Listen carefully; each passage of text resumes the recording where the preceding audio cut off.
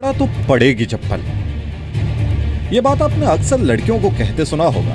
लेकिन अब छेड़छाड़ की घटनाओं से बचने के लिए आपको चप्पल मारने की नहीं, ये खास चप्पल पहनने की ज़रूरत है। सत्रह साल के सिद्धार्थ मंडल ने ऐसी चप्पल बनाई है, जिससे लड़की को छूने वाले को लगेगा जोरदार करंट मैंने देखा कि लोगों को इस घटना से कितना फ़र्क पड़ा है। तब मुझे लगा कि हाँ ये वाकई में गंभीर मुद्दा है और मुझे इसके लिए कुछ करना चाहिए।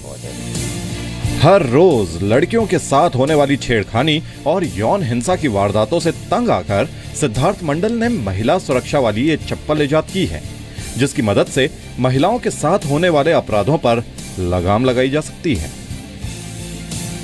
I sure hope that it actually helps couple of people. मैं उम्मीद करता हूँ कि ये कुछ लोगों की मदद ज़रूर करेगा कम से कम हज़ारों को तो बचा ही पाएगा really hope that uh, it can save at least thousands of people.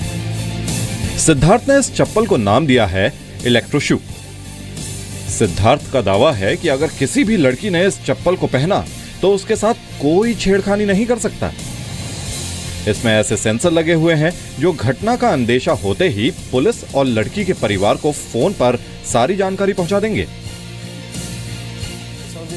इसे इलेक्ट्रिक शू कहते हैं। जब भी मोलिस्टर किसी विक्टिम पर अटैक करता है तब ये मोलेस्टर को दशमलव एक एम्पियर का शॉक देता है और पास के पुलिस स्टेशन और परिवार वालों तक जानकारी पहुँचा देता है। इलेक्ट्रो शू की सबसे बड़ी बात यह है कि ये स्लिपर देखने में बिल्कुल आजकल के चप्पल जैसी ही है, ताकि